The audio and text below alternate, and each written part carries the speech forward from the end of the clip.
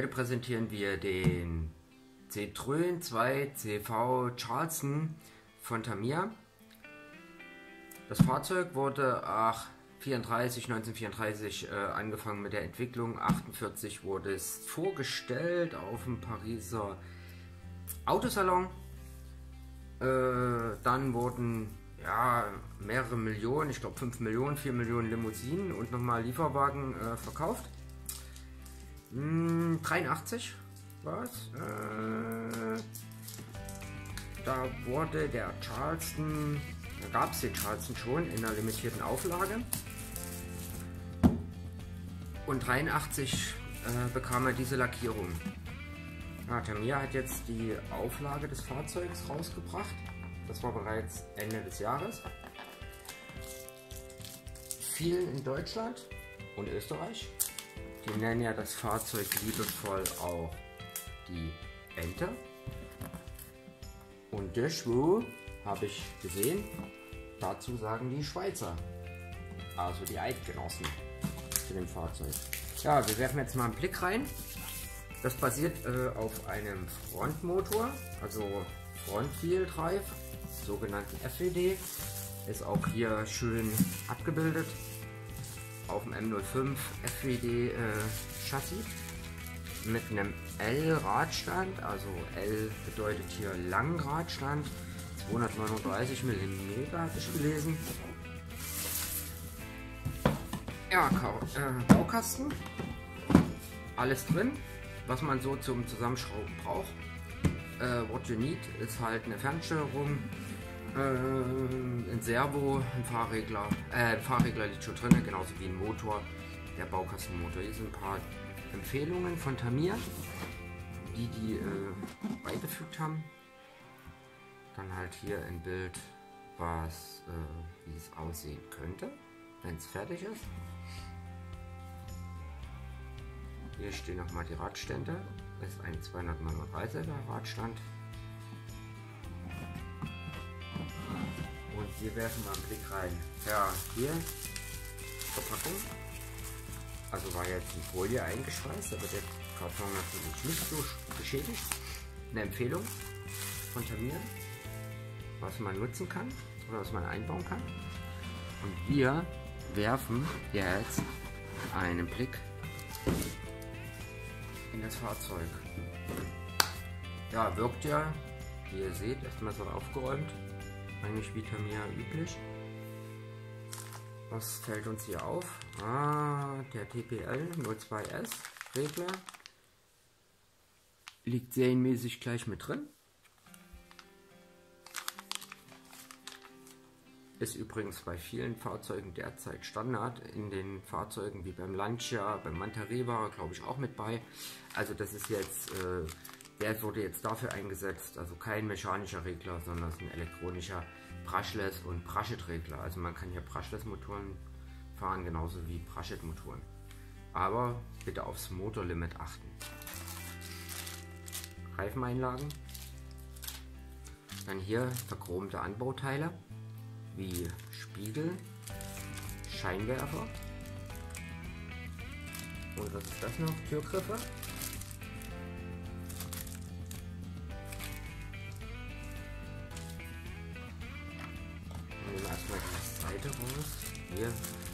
Wieder typisch Tamiya, die Spritzgussteile.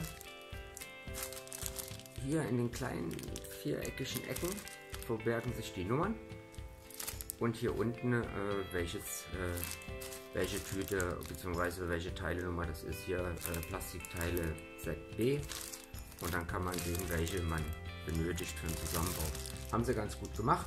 Ist Tamiya bekannt für also selbst für Einsteiger, Neuanfänger sollte das kein Problem sein, das Fahrzeug äh, zu montieren. Ähm, weiter geht es hier mit den ganzen Teilen, die es hier gibt. Typisch 540er Standardmotor liegt mit bei. Kunststoffteile, die Antriebszahnräder. Ähm, ist nicht kugelgelagert, sieht man hier an den Buchsen.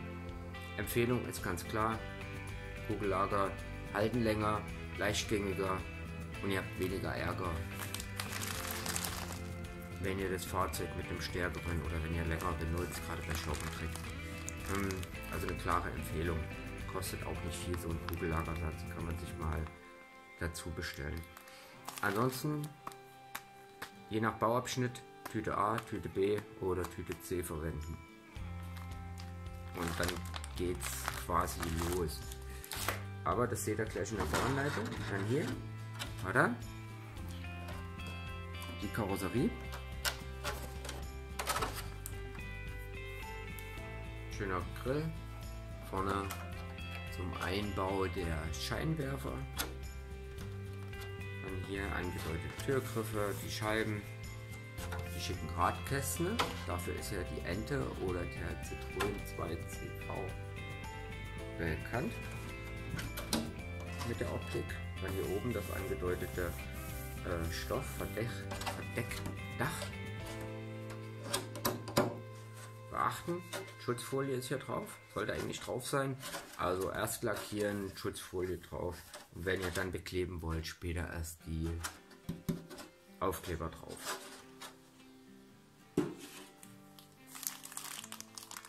Vier Gummireifen.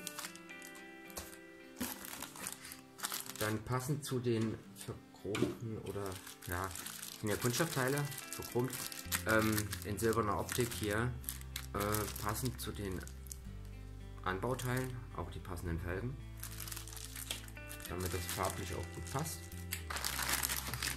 Dann hier weitere Kunststoffteile, auch wieder alles spritzgroß, einfach nur abklicken, eventuell dann mit dem Balsamesser hier mal nachschneiden, damit die wirklich sauber entgradet sind.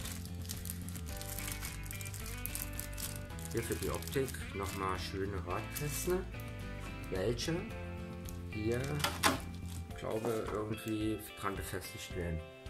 Aber das werden wir später sehen, beziehungsweise werden wir im Aufbau zeigen.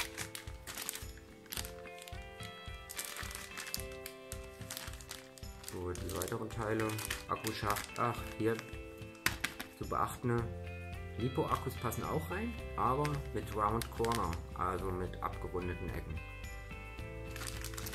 Also keine ganz normalen Stickpacks, äh, die, äh, die es sonst von vielen Herstellern gibt. Man muss darauf achten, dass man hier Round Corner nimmt. Lenkhebel, Radträger. Ja, ist eigentlich äh, ansonsten bekannt aus anderen Fahrzeugen bzw. der M05-Serie. Hier ein paar Hinweise. Hier eine kurze Anleitung, wie man die Karosserie gestalten kann, beziehungsweise wie man sie lackieren kann. Hier sind bestimmte Farben angegeben. Also könnt ihr entweder in dem Look machen, so wie es oder so lackieren, wie es äh, Tamiya vorgibt, oder ihr macht eine eigene Lackierung. Und ansonsten hier, äh, wie man das äh, sprayt. Also wie man das lackiert, in welchen Schritten. Was gibt es hier auf der Rückseite, da wo welche Anbauteile rankommen, ist auch gut erklärt. Und wie die Karosserie befestigt wird.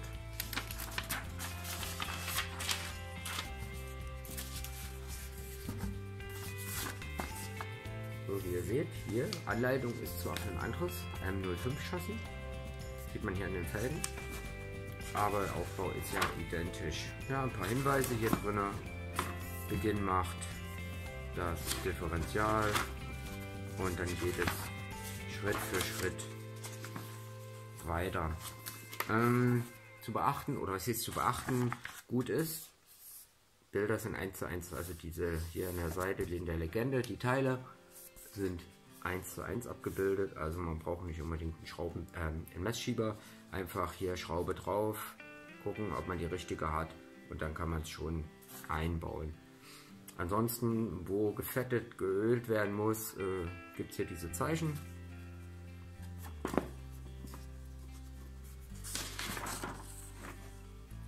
Beim Einbau des Motors, Motorritze müsst ihr euch keine Sorgen machen.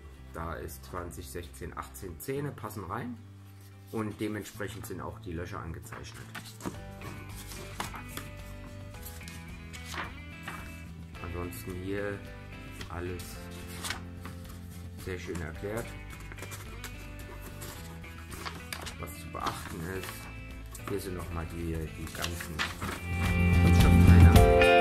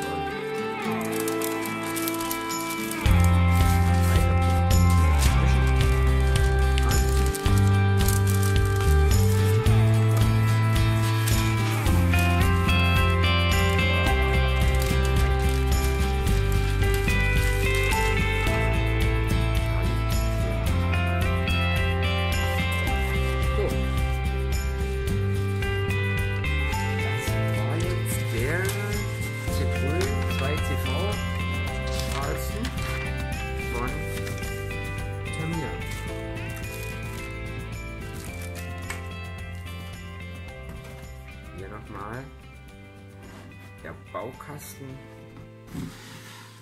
so wie er zu euch kommt, wenn ihr ihn bestellt. Und hier steht nochmal 1 zu 10 M05L für lange Version Chassis. Das ist ein FWD mit Frontmotor. Beiliegt, wie gesagt, der Motor, der Fahrregler. Was ihr braucht, ist quasi jetzt eine Fernsteuerung, ein Akku und ein Lenkservo.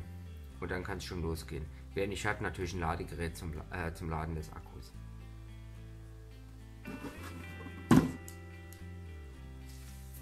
Dann viel Spaß, würde ich sagen, mit dem Fahrzeug.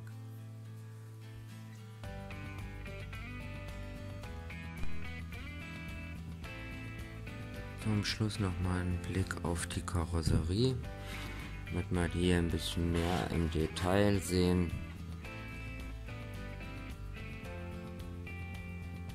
Sehr schön die angedeuteten Radkästen hinten und vorne. Hinten auch so die Scheinwerfer, die Attrappen.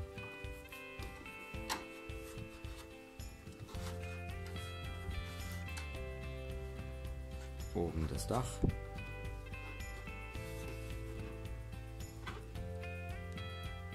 Und die Front vorne. Und wenn ihr noch mal sehen wollt, hier die Anbauteile.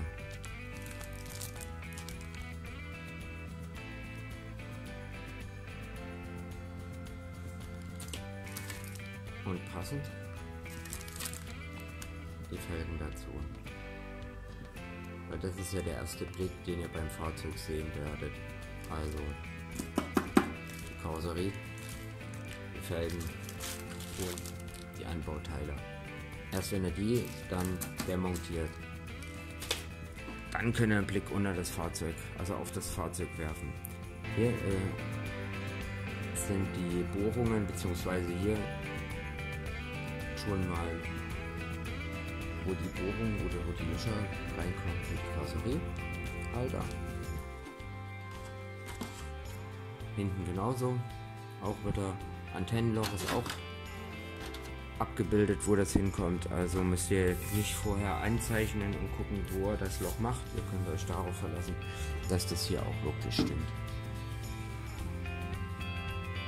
Und wir werden jetzt hier anfangen mit dem Zusammenbauen. und unten den Link vom Zusammenbau mit reinstellen. Übrigens haben wir das Fahrzeug schon mal getestet, beziehungsweise schon mal auf der Nürnberger Messe gesehen. Den Link werde ich auch mit reinstellen. Dann würde ich sagen, viel Spaß. Ich hoffe, es hat euch gefallen. Und ja, wenn ihr selber so ein Auto baut, kauft, äh, könnt ihr gerne ein paar Bilder darunter posten. Wäre nicht schlecht. Alles klar, vielen Dank. Tschüss.